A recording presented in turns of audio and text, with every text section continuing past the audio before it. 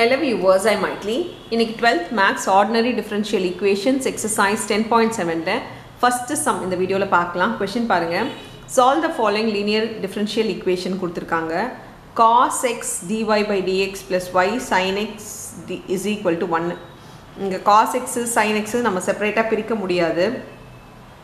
இது எந்த ஃபார்மேட்டில் போடுவோம்? இந்த எக்ஸசைஸ் எல்லாமே பார்த்தீங்கன்னா எந்த ஃபார்மேட்டில் போடுவோம் டிஃப்ரென்ஷியல் ஈக்குவேஷனை சால்வ் பண்ணுறதுக்கு அப்படின்னா டிஒய் பை டிஎக்ஸ் மட்டும்தான் வரணும். ஸோ இந்த காஸ் இருக்கக்கூடாது. நான் காஸ் என்ன பண்ண போகிறேன்னா டிவைடிங் காஸ் எல்லாத்துலேயுமே டிவைடிங் பை காஸ் பண்ண போகிறேன் காஸ் எக்ஸால் பண்ண போகிறேன் அப்போ டிஒய் பை டிஎக்ஸ் ஆகிடும் plus y sin x by cos x ஆகும்.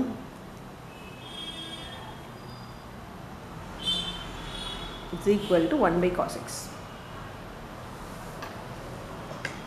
இது வந்து எக்ஸாமில் இந்த எக்ஸசைஸில் வந்ததுனால இந்த ஃபார்மேட்டில் போடுறேன். இல்லை வேறு இதுக்கு முன்னாடி போன எக்ஸசைஸில் எந்த ஃபார்மேட்டில் வேணாலும் இந்த சம்மை சால்வ் பண்ண முடியும்னு நினச்சிங்கன்னா சால்வ் பண்ணுங்கள் இப்போ எக்ஸெல்லாம் ஒரு சைடு ஒய்லாம் ஒரு சைடு கொண்டு வந்து சால்வ் பண்ண முடியும்னு நீங்கள் நினச்சிங்கன்னா தாராளமாக போடலாம் போடக்கூடாதுன்னு ஒன்று கிடையாது. ஆனால் அப்படி சால்வ் பண்ண முடிஞ்சால் ப்ரொசீட் பண்ணலாம். இல்லைனா எக்ஸ் கோஎஃபிஷியன்ட் ஒய் ஒய்யோட கோஎஃபிஷியன்ட் வருது அப்படின்னா ஈக்குவல் டு ஒரு எக் ஒய் இல்லாத வேல்யூ வருது அப்படின்னா நீங்கள் வந்து இந்த ஃபார்மேட்டை யூஸ் பண்ணிக்கலாம்.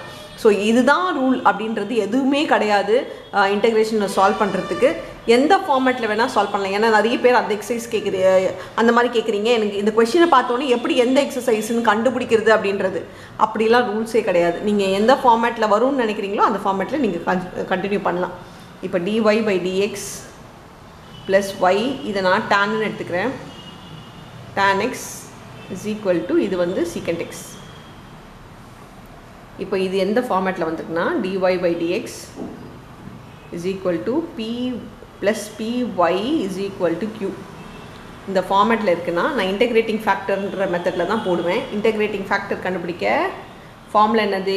இ பவர் இன்டெகிரேஷன் பிடிஎக்ஸ் அப்படின்னா இ பவர் இன்டெகிரேஷன் பிக்கு பதிலாக இங்கே ஒய்யோட கோஎஃபிஷியன்ட் இருக்கு பாருங்க அதுதான் P tan x dx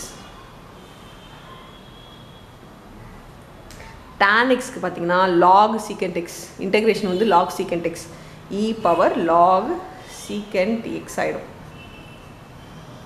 இதில் ஒரு பியூட்டி என்னென்னா இ e பவர் லாக் வந்தால் இயும் e லாகும் கேன்சல் ஆகிடும் இயும் e பவர் லாகும் கேன்சல் ஆகிட்டு பேலன்ஸ் இருக்கிறது. இ லாக் மட்டும் போயிடும் சீக்கண்ட் எக்ஸ்னு ஆகிடும் இப்போ இன்டெகிரேட்டிங் ஃபேக்டர் நம்மளுக்கு சீக்கண்ட் எக்ஸ்னு தெரிஞ்சிச்சு. அப்படின்னா ஃபார்மில் என்னன்னு பார்த்தீங்கன்னா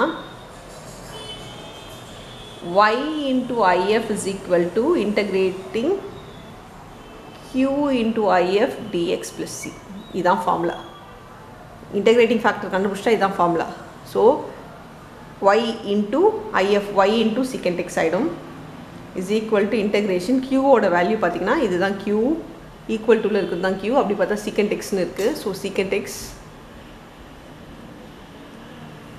into IF அப்படின்னா இன்டூ மறுபடியும் சீக்கண்ட் எக்ஸ் ஆகிடும் ப்ளஸ் சி ஸோ இது இன்டெகிரேஷன் பண்ணலாம். Y secant x is equal to integration secant square x dx plus C y secant x secant square x ஓட இன்டெகிரேஷன் பார்த்தீங்கன்னா tan x tan x plus C இப்போ இப்படியே some விட்டுடலாம். நம்மளுக்கு Y is equal to வேணும்னு நினச்சிங்கன்னா இதை பையில் கொண்டு வரலாம். மற்றபடி இப்படியே நீங்கள் ஆன்சர் விட்டலாம். புக் பேக்கில் எப்படி இருக்கோ அந்த மாதிரி போட்டுக்கோங்க. பட் என்னை பொறுத்த வரைக்கும் சீக்கன் டெக்ஸை டிவைடில் கொண்டு வந்துச்சுன்னா இங்கேயும் சீக்கும் வரணும். அது அவசியம் இருக்காது. அதை அப்படியே விட்டுடலாம். ஸோ அவ்வளோதான் இந்த சம் தேங்க்யூ